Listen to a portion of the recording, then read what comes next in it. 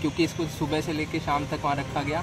तो ये एक तरह से नाराज़ होके या गुस्सा होके जब ये अगले दिन जैसे आया उसके बाद इसने प्लानिंग की कि एक तरह से बदला लेना है। तो इसलिए इसने इसके दोस्त के साथ मिलके भागीरथ ने गजेंद्र सिंह के साथ मिलके और ये प्लानिंग की कि रात को ये ये यहाँ इनको सबक सिखाने के लिए आ, हम चोरी करेंगे।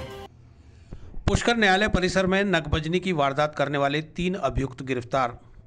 पुलिस अधीक्षक विकास शर्मा के निर्देश पर आईपीएस सुमित मेहरदा के नेतृत्व में गठित विशेष टीम ने किया खुलासा। तीर्थ नगरी पुष्कर में चोरी का अजब गजब मामला सामने आया है। न्यायालय के आदेश से आहत हुए आरोपी ने ही न्यायालय में चोरी की वारदात को अंजाम देकर पुलिस को चुनौती दे डाली।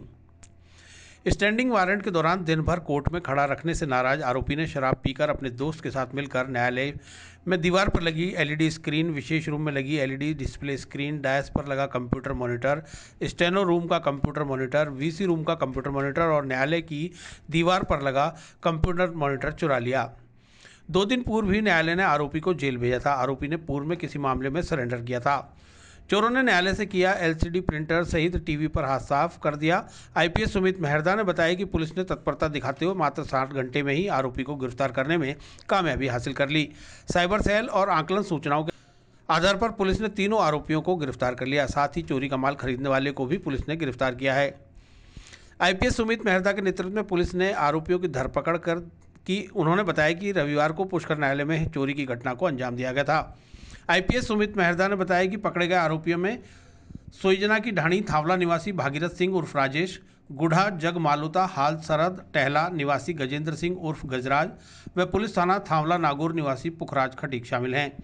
आरोपियों को गिरफ़्तार करने वाली टीम में पुष्कर थाना प्रभारी महावीर प्रसाद शर्मा, पुष्कर थाने के head constable Shivji Ram, Chhitarmal, Devkaran, Manohar Chand, head constable सहित साइबर डीएसटी टीम के जगमाल दाहिमा, रणवीर सिंह, रामबाबू, महिपाल सिंह, रामनिवास, गजेंद्र मीणा आदि शामिल रहे।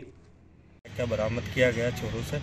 ये अपन हम लोगों को 20 तारीख को एक घटना का पता लगा कि न्यायालय परिसर में चार डेस्कटॉप और बड़े एलसीडी स्क्रीन दो एलसीडी और प्रिंटर चोरी हुए हैं। तो उस बेसिस पे फिर हमने दो तीन टीमें गठित करके और उनको अलग अलग का, कामों पे लगाया जितने भी टेक्निकल और ह्यूमन इंटेलिजेंस के सोर्सेज यूज़ कर सकते थे वो किए और लगभग दो ढाई दिन के अंदर अंदर इसको खोल दिया है। तो इसकी घटना में ये निकल के आया कि भागीरथ सिंह जो अभियुक्त है।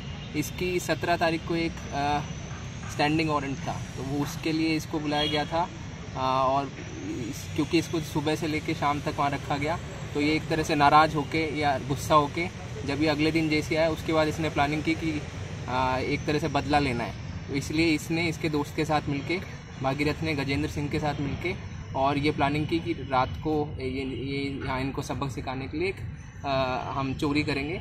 और इसी बेसिस पे इन्होंने फिर क्योंकि सैटरडे संडे था दो दिन, बीस तारीख को इन्होंने चोरी की है और उसके बाद फिर ये अपना सामान, कुछ सामान इन्होंने अपने घर पे लगा दिया और इनको लगा जो काम का नहीं है या जो कम यूज़ में होएगा, वो इन्होंने फिर जाके कबाड़ी में भेज दिया है थामला में।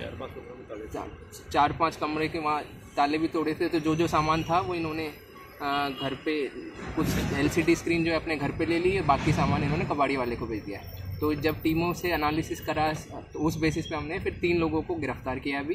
भागीरथ सिंह गजेंद्र सिंह और पुखराज सिंह। कहाँ के हैं?